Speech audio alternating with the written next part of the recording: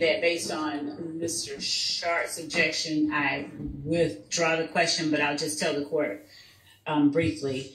So, um, Mr. Stevens was believed by Mr. Crittenton to have um, robbed him, stolen some of his jewelry. Um, as a result, Mr. It is believed that Mr. Porter um, alerted uh, Mr. Crittenton as to Mr. Stevens' whereabouts.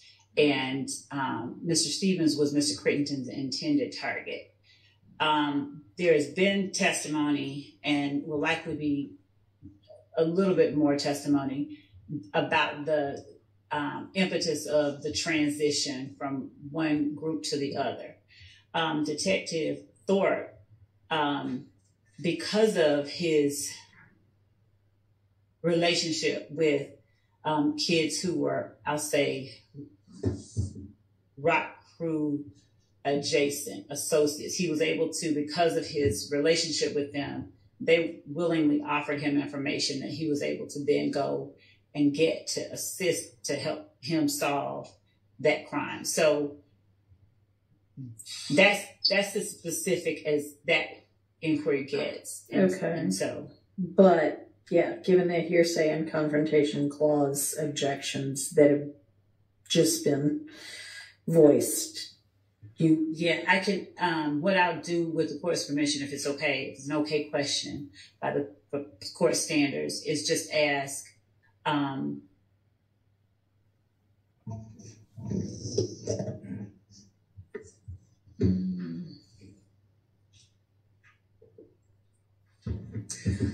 well, given that that's what that that was what I was going to pull out, whatever the court's ruling is. well, it seems like the only way he would know that is through his investigation, and given that it was an investigation that would be testimonial and and and they're not t- he's not talking about what they said he's just saying that they were able to He's it's not going to be saying, I learned X, Y, Z. Well, how did you learn it? Well, somebody told me. right So it's still hearsay, So I even if you rephrase it in a different way. right i can i can withdraw Okay. i can All right. Your Honor, I appreciate the fact that the state's withdrawing this line of inquiry. However, I would just like to say, moving forward, um, it, this is an example. This alleged crime, or I mean, it, it was adjudicated in court um, from 2011, I believe, is not on the indictment. There was no 404B notice. There was no 418 notice. There was no discussion of this as an intrinsic act. So you know, I just don't think that we should just be bringing up wholly unrelated murders just willy nilly without at least noticing the other side of our plans to do so. That seems reasonable. Your Honor, as it relates to as it relates to the information that I elicit from the witnesses, it's nothing that hasn't been number one, I'm not it's not 404B because I'm not saying that any one of the defendants committed this act. In fact, it was alleged that Trontavia Stevens was the intended target. So, in as much as it, the questions that I ask may involve incidents that YSL members were involved in, number one is going to be things that have been provided in discovery. But number two, just because it's another act or overt act, and I think that my brief to the court sort of addressed this, but it's relevant information and evidence of the existence and the nature of the enterprise that they claim is a rap group. So every time that we present evidence of something that proves the existence of the enterprise and the nature of the enterprise, there has been and will be the objection that it's 403, it shouldn't, it's too prejudicial. But the point is, is that the point is, is that the um, information that I'm soliciting from the witnesses are intended to prove up elements of count one in this indictment. Your Honor, may He's, respond? he's talking about a lack of any kind of notice. Uh, but so he he wants he wants to know the the questions because I don't believe that a notice of my asking about questions regarding incidents that one we've talked about. I don't believe that We have the court that the defense this. is entitled to the, the list of questions that the state is going to ask. No, I, I, I agree with that, but I- We've never spoken about this. There's no mention in the discovery, to my knowledge, certainly no police reports about the uh, murder of, I guess, Julian Jones. I only know that because Detective uh, Thorpe said that name. Uh, no mention of the Javaris Crittenton case. There's no mention of that in the discovery, to my recollection. So I don't know where, where the state's saying that they've given notice through discovery. Oh. But even if even if they had given notice through discovery, there's also Georgia rules of evidence that dictate when notice needs to be given when bringing up extrinsic, non-charged matters in a in a trial, and that has not been done. And I just don't want, you know, at this point, I think that we've cut this off, this particular incident, but I just don't want it to repeat in the future. Your Honor, and that's another thing. These matters that um, are alleged by the defense as being extrinsic, uncharged matters, they're not. When we're asking about them, and just to um, cap off something Mr. Sharp said, we've had a witness already talk about um, the Creighton murder earlier on, um, and Trontavious Trontavious Stevens' involvement in it. Just to put a point on that, but these the assertion that these are extrinsic uncharged matters are efforts we believe to curtail the state's um, um, right to prove its case through valid questions that are not um, un- improper. They're not impermissible. They're not 404b these are um, questions and evidence through testimony we believe that proves an element of or one or more elements of count one, the existence of the enterprise, the nature of the enterprise, um, and the means by which particular people participate in the enterprise. Well, I'm not sure that evidence, I mean, it's not going to come in through this witness in this way anyway, but I'm not sure how evidence that Porter told Crittenton Stevens' whereabouts No, so in any way establishes any of your elements that you need to prove for RICO. So, Your Honor, since we're not talking about this particular one, the point that I was making is that this detective's investigation involved um, members, a member of two members of Rock Crew, and information he was able to obtain through other persons associated broadly. I'm not arguing or trying to get that in. I'm saying that there will be times when we are asking about matters that I have heard alleged are extrinsic, but they are not. And I guess it's on, you know, if there's an objection, that's one thing, but the defense is in no way entitled to know every time we're going to ask about something that tends to prove what it is that we are alleging in the indictment. And so I, to the extent that that's what is being asserted, we, we vehemently um, disagree with that. We are not and will not go further into um, that particular inquiry with Detective Thorpe about that particular murder, but um, instances that involve actions and, and YSL members that witnesses have personal knowledge of um, are relevant to show the existence and nature of the enterprise and other material I, I guess we'll just have to see as the evidence plays out. All right, let's get the witness and the jury back in.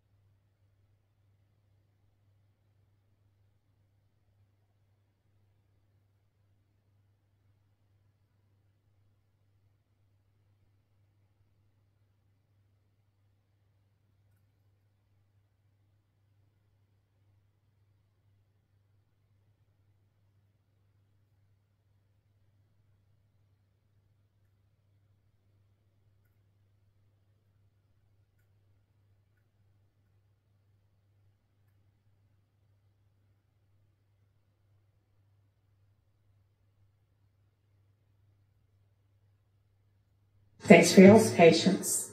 Go ahead, Miss Love. Detective Thorpe was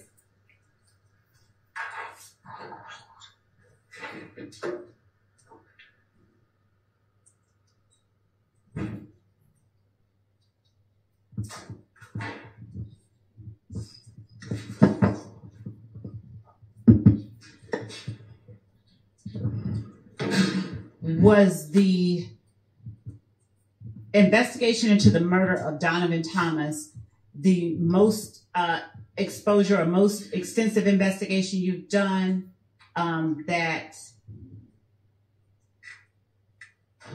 in, throughout your investigation of Donovan Thomas, um, did you have an occasion to uh, investigate more about the group YSL? Uh, yes, ma'am. Was that the most extensive investigation that you have done that has involved or in which the name or group YSL has come up? Objection, Your Honor. Sustained. What is the when you went out to Vanira on January the 11th of 2015? Um, was Deshaun Quarterman the only one you talked to? Um, my recall, yes. Did you speak with Emmett Yarborough as well? Yes. All right. Excuse me. Without talking about anything that Emmett Yarborough um, said, um,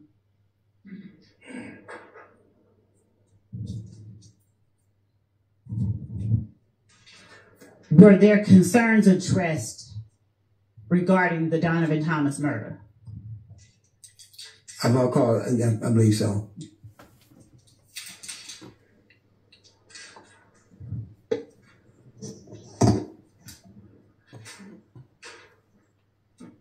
When you collect shell casings as you, or did you direct, I'm sorry, when you are on scene as lead detective, do you or other homicide detectives working in tandem with you, do you all direct the collection of those shell casings? Yes, ma'am. And what do you do with them once you collect them? Yes, ma'am. Um, they're photographed and they're placard, so we know exactly what shell casing belonged to what group. And uh, at the time, our crime scene um, investigations unit, they collect the shell casings, and we at that time, at that time, we turn them in directly to the GBI firearms.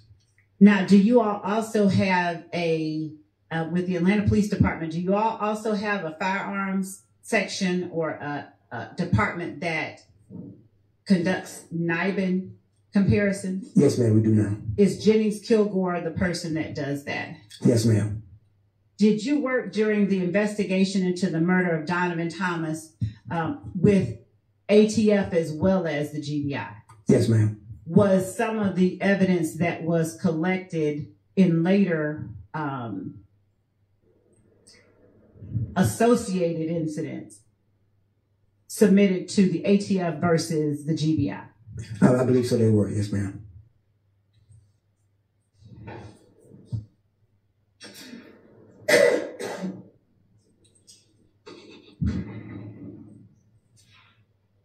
Did you collect the firearm or did you um, interact with the person that you saw going into the barber shop with the assault rifle? Yes. Did you collect that firearm? Yes, I did. At various points in your investigation, um, did you gain information that caused you to interact with a Quintez Griffin? Yes, ma'am. And did that person have a nickname? Yes, ma'am. What was that nickname? Head. H E A D. Now, how was Head ever brought in as a suspect? Yes, he was. And was he interviewed? Yes, he was. Did you um, collect any information, any evidence um, from that arrest of Quintez Griffin? Yes. And was that evidence submitted to the GBI or the ATF? Either one. Yes, ma'am. All right.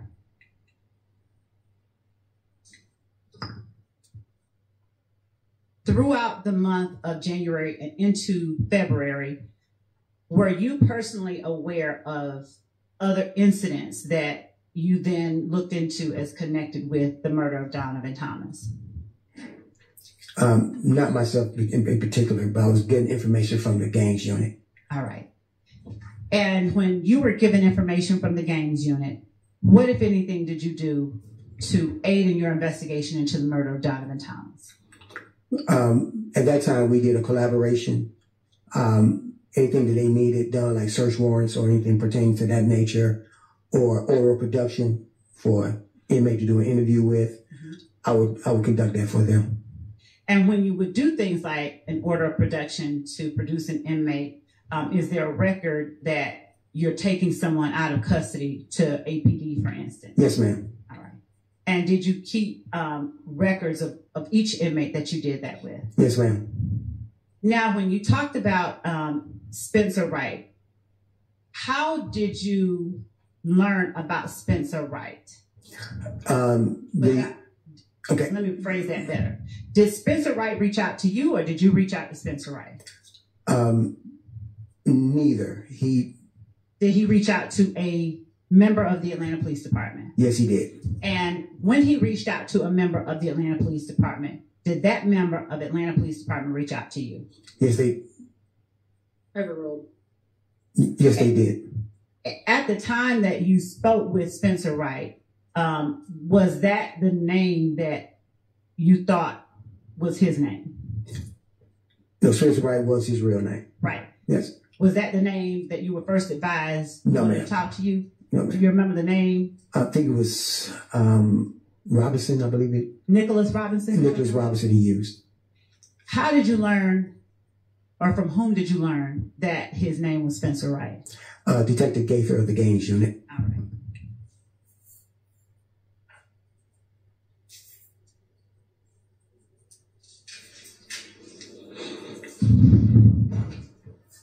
Between January of 2015 and October of 2015, uh, when you interacted with Spencer Wright, were there any other steps that you took that you can describe for the jury to help you solve the murder of Donovan Thomas without going into anything anybody said, just the steps that you took?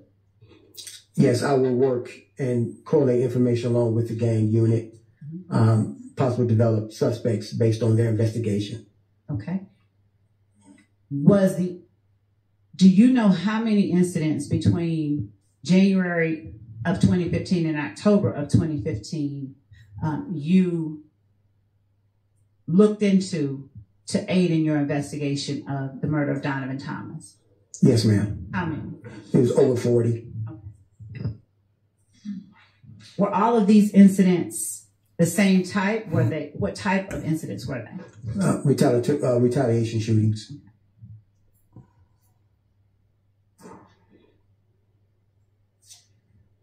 Did you interview the people who were affected by the shootings? Did you have an occasion to interact with or interview any of the people who were affected?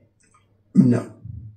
Did members of the Atlanta Police Department, Yes, responding officers, Yes, ma'am. In the gang unit.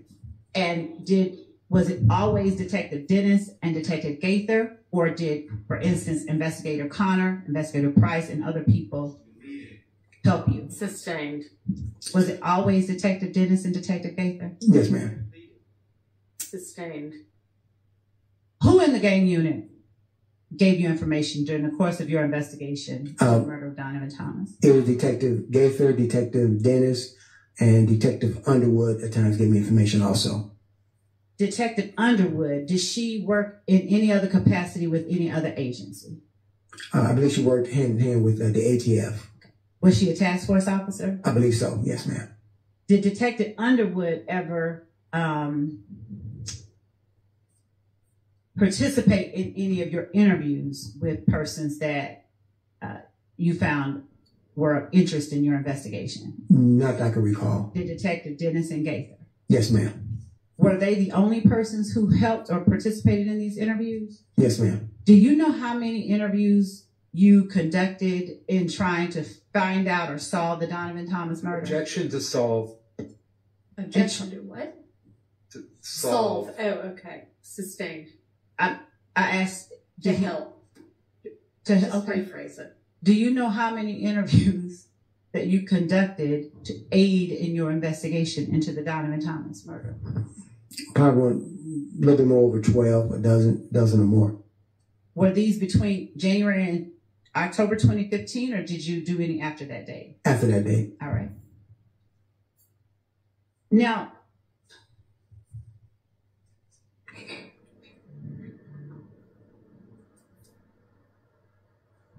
at some point, do you try to locate or determine what vehicle that is that you saw, that grayish vehicle that you saw in the surveillance? Yes, ma'am. What steps do you take to identify that vehicle? Um, it was one based on a description given by one of the victims. Um, I started sending around um, other, other to other officers or detectives in the Atlanta Police Department who are very familiar with vehicles. Um, And without talking about what anyone says, unless I Mhm. specifically ask you, mhm. beyond seeking information from other people, did you take any other steps to identify that vehicle? no, ma'am, not about it. Did you, at what point did you learn of a specific, did you ever learn of a specific make and model vehicle that you were interested in in that investigation of Donovan Thomas's murder? Yes, ma'am. What was the specific make and model of the vehicle you were interested in? I believe it was an Infiniti Q35. And do you know if the Infiniti Q35 preceded any other model? Not, not to my knowledge. Now, when you began interest, became interested in the Infiniti Q35, did you do anything to determine who had or whose vehicle it may have been? Yes, ma'am. Are you able to tell the jury um, whether you got that information from a source, one particular source, or multiple sources? Uh, multiple sources. How many times did you talk to Kenneth Copeland? Maybe a total, maybe four, I believe. Did Kenneth Copeland provide you information that you were able to, in any way, use to get more information about the murder of Donovan Thomas? Yes, ma'am.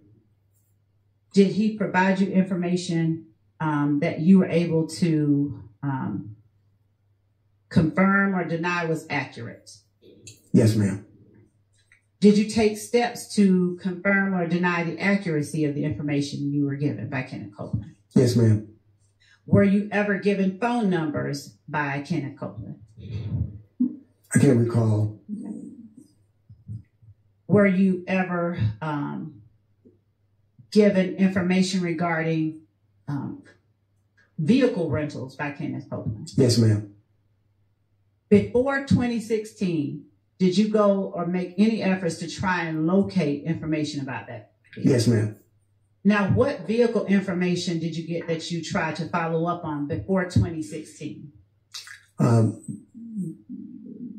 that it was possibly a rental, And a rental from where? the airport. And did you ever go out to the airport before 2016 to try and get information about it? I believe I did.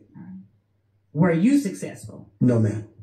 Now, after a certain point, do you turn, do you, do you keep your file with you and that's the end of it, or do you turn it over to the district attorney's office at some point? Turn it over to the district attorney's office upon their request. When you turn the file over to the district attorney's office, does the investigation or do you stop working on the crime itself? No, ma'am. Do you work with any particular people to further investigate the crime? Yes, ma'am. Is there any one particular person at the district attorney's office back in 2016 that you worked with to try and further investigate the murder? Yes, ma'am. Uh, senior ADA Mike Sprinkle. All right. Um, do you know what his job was at the district attorney's office during that time? Yes, ma'am. Did he work primarily homicides? Uh, yes, ma'am.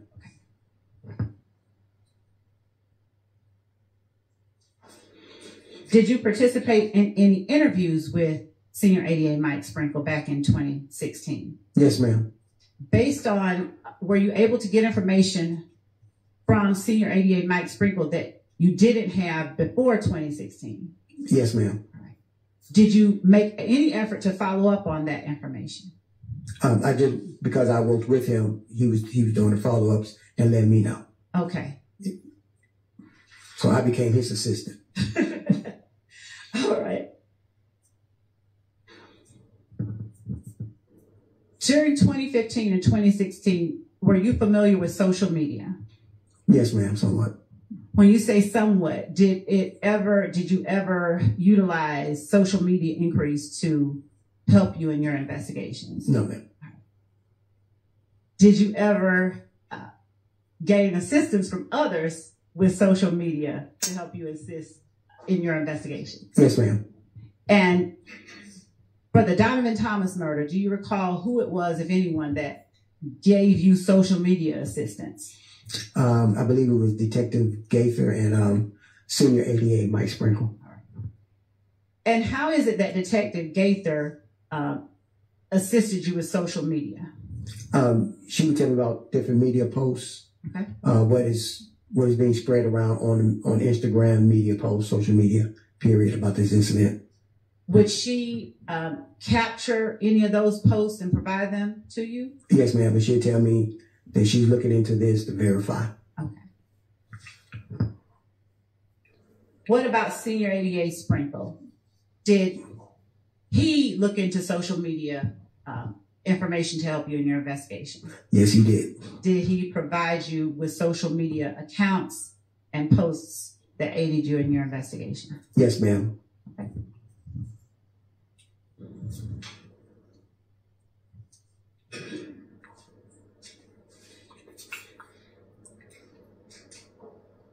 Going back to Mr. Wright, um, did you interview him once without Senior ADA Mike Sprinkle? Yes, ma'am. Did you interview him again with Senior ADA Mike Sprinkle? Yes, ma'am. All right.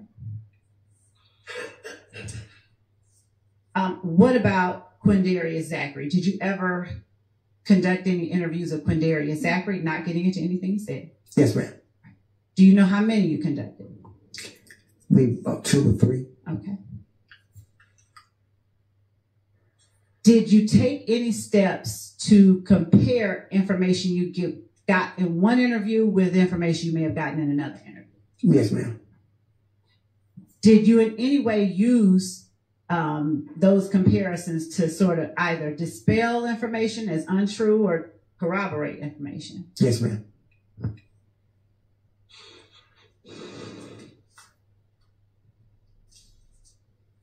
Did you learn from anyone in particular who may have rented the vehicle that you were looking into, the Infiniti? Yes, ma'am. Calls for hearsay. Your Honor, the um, evidence has come in, and if we may approach so that I don't speak more improperly.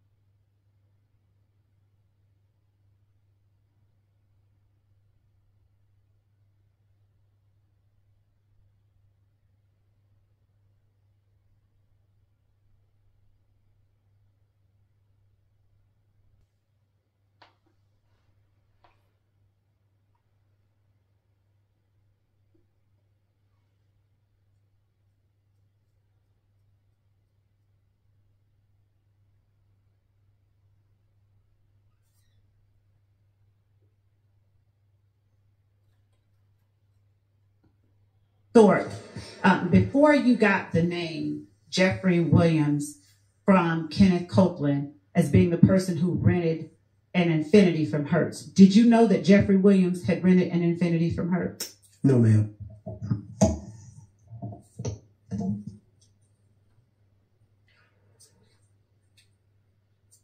Were you present when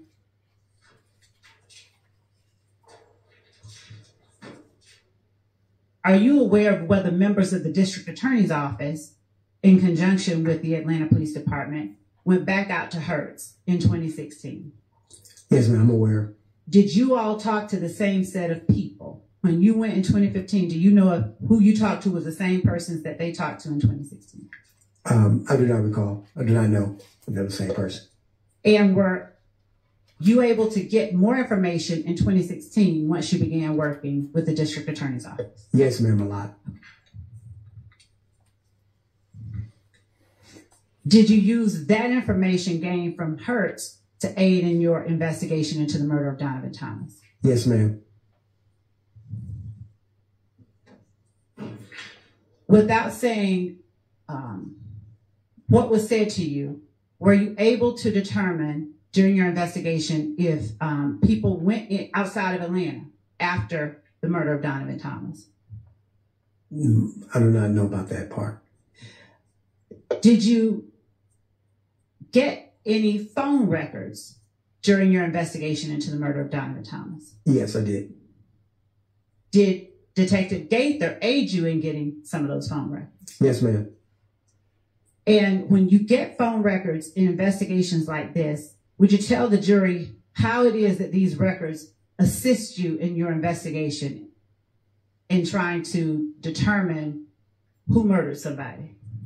Yes. Um, we use the cell phone records to plot uh, their course of travel. Also, see if they was in the area where the incident took took place, uh, based on the cell tower. Um, also, we try to see based on their call logs, who did they call before, during, and after the incident. Do you remember um, all of the phone records that you gained or gathered through this investigation from 2015 through 2016, either alone or with other members of the Atlanta Police Department or the DA's office? Yes, so yes, ma'am. Would you tell the jury without getting into the details about the phone records themselves, some of the persons whose phone numbers you sought and were able to obtain? Yes, ma'am. Now, who are some of the people whose phone numbers you got during this investigation? Um, then it was Kenneth Copeland, Demikian Garlington. Um, can't recall the other person's uh, real name. Know him as Montonk, I believe it was. Antonio Sledge? Yes, ma'am. Uh huh. Who else? Um, who's who else's phone numbers do you recall uh, getting throughout this investigation? Uh, I believe that's that's the ones that I targeted on. Were other numbers provided to you by members of the DA's office or members of the gang? Yes, ma'am.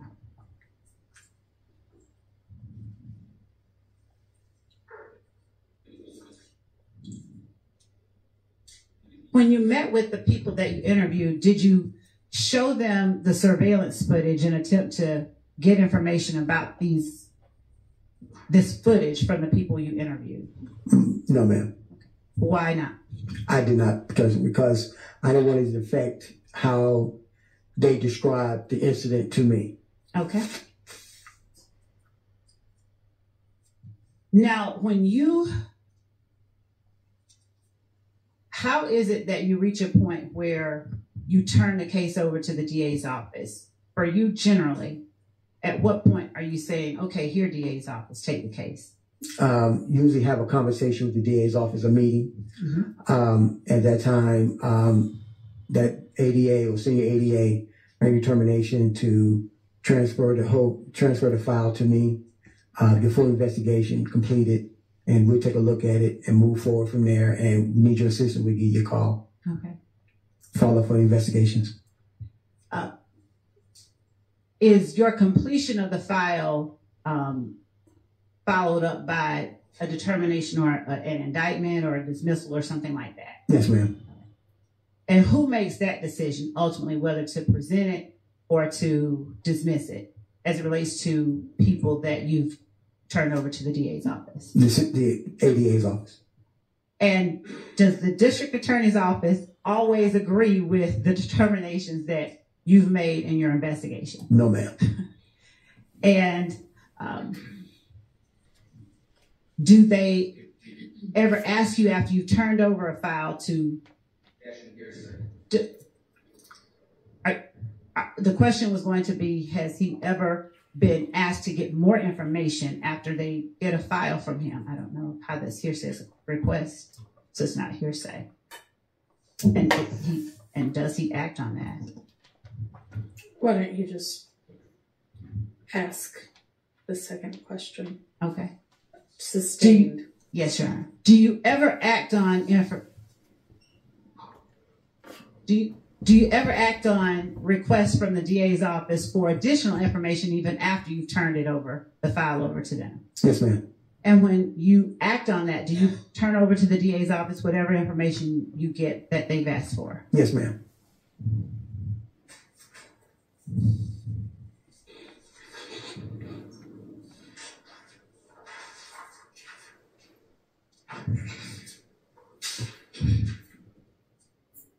In the Donovan Thomas murder, um,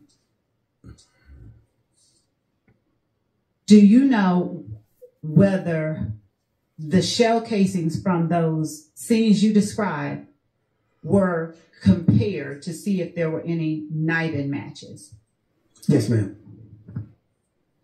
Was that done at your request, the gang units, or someone else's? My request.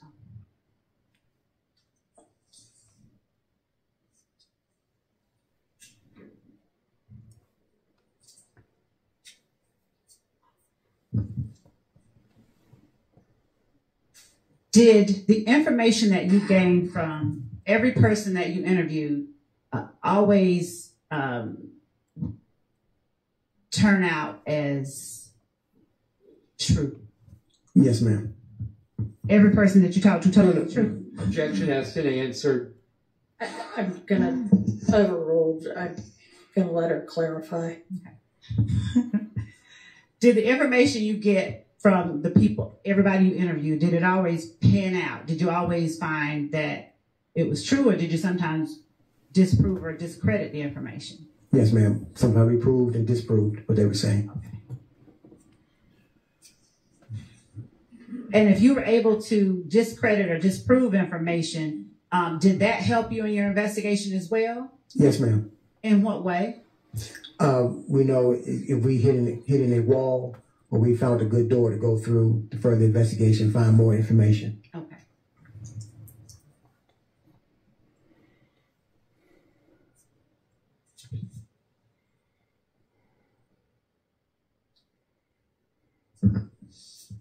Do you all ever does do you particularly in your homicide investigations ever attempt to uh, listen to jail recordings uh, to get more information about your homicide? Yes, ma'am. And did the DA's office get you information about jail recordings that aided in your homicide? Yes, ma'am. Was that senior ADA Mike Sprinkle? Yes, ma'am. Did you also work with David White? Yes, ma'am. And was that ADA Sprinkle's investigator? Yes, he was. Was Mr. White able to get you even further information um, that helped in your investigation? If I recall correctly, yes, ma'am, he did. Do you know where, um, did you ever determine where the vehicle that you were interested in from Hertz ended up? I know ma'am, I was able to determine what, what happened to it. Do you know Excuse me. uh, ADA Sprinkle and Investigator White investigated that further? Yes, ma'am. Objection item calls for hearsay. Sustained.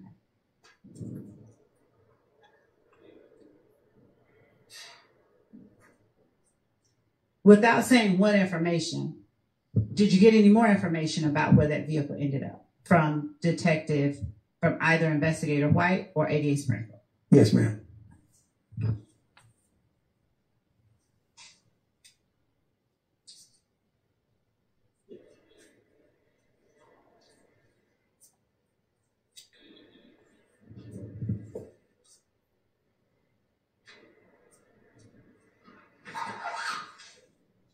When you got phone numbers to look into, um, were some of those numbers given to you during the interviews of the persons who, for instance, if you're interviewing me, I offer you my number. Does that happen sometimes? Yes, ma'am. Did that happen sometimes in this case? Yes, ma'am.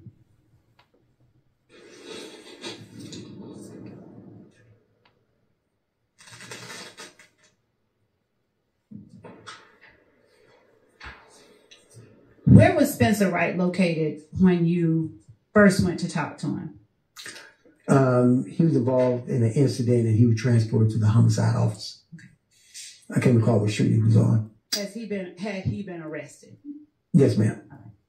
And um, was he trying to offer up information to sort of get some kind of help with his case? Not to my recollection, no, ma'am.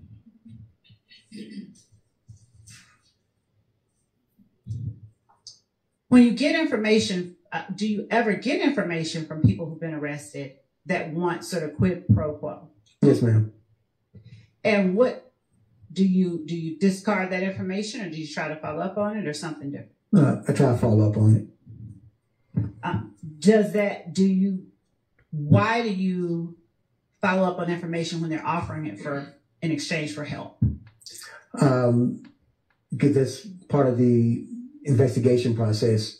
You got to figure out if they're telling the truth. Mhm. Um, information they, they deeming is correct and can help you further your investigation.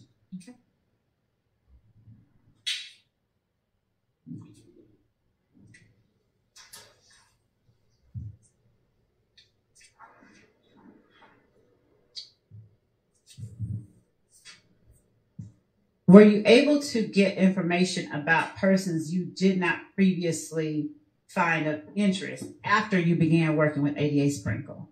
Yes, ma'am.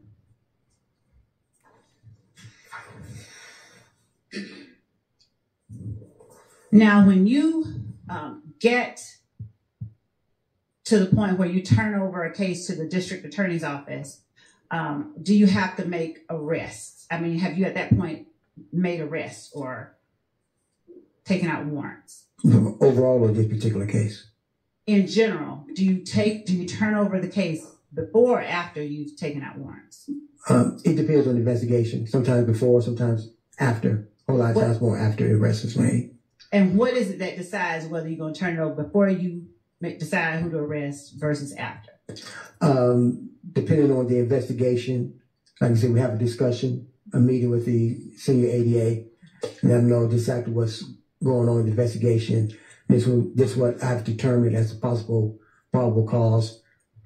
Nine times out of ten, sometimes they see it your way, sometimes they don't.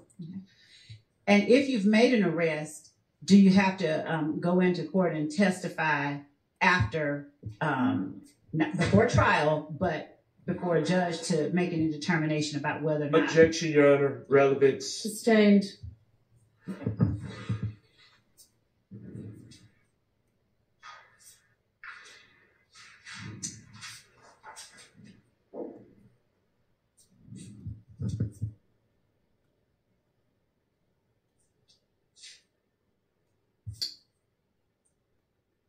Were some of the people that ultimately you believe, uh, you know, I need to approach because there's a question that I don't, this is All right. going to.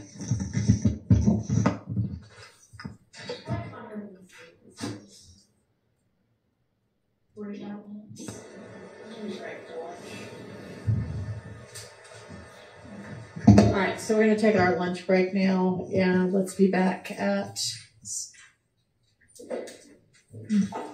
one. Can we be back at one thirty? Can y'all be back at one thirty? Is that gonna give y'all enough time? Let's do that, since we got a late start this morning.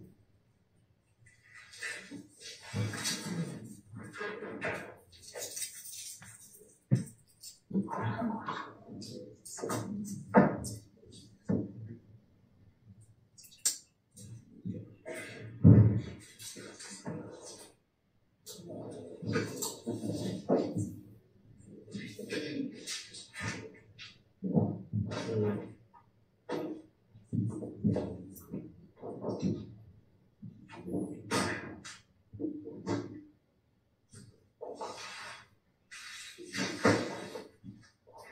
right, detective, you can step out we'll see you back at one thirty. Yes, ma'am.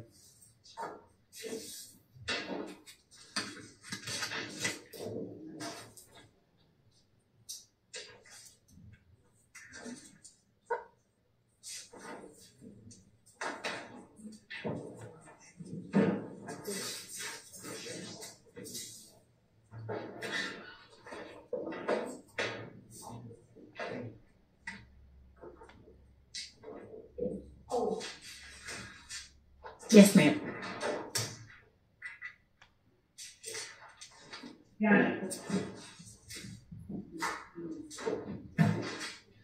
The question that I was going to ask um, was regarding um, some of the people that he arrested that ultimately did not um, end up on the indictment. And I'm going to follow whatever direction the court gives, but I, I think that um, Mr. Sledge um, was a person that he arrested um, that probable cause was not found for, and the state did not include as one of the persons um, Mr. Sledge and I think Mr. Copeland. I think that that's going to come out. And um, that we not, not only did we not proceed on that, but um, probable cause was not found for Mr. Sledge. So I don't. That was Not not an appropriate question. okay. Anything else before we break for lunch? Nothing. And Your Honor, just to get clarity, the court does um, the appropriateness comes with the probable cause in the preliminary hearing, not with whether or not he took out warrants for them, right? Right. Okay. Your Honor, to be exact, the, the state began to ask the question. They said, Are there any defendants or whatever the, the noun was that you believed that's inappropriate? Well, that's irrelevant. And, and it, if they want to be precise, they need to say that you took warrants out for, not you believed. Judge, um, what this witness did and why he did it is relevant. I don't think that there is, I don't think that, you know, one side can tell the other the appropriate way to ask the question. I don't think it's an inappropriate question whether you had a difference of opinion regarding who, um, And you were allowed to ask that. yes, yes, But- court- yeah. But his personal belief is not relevant. Okay, then, um, did you take out um, warrants for people we didn't indict? I mean, and I was going to ask specifically about Mr. Copeland and Mr. Sledge. Okay, but you can't ask the other issues. Okay. All right. See everybody at one thirty.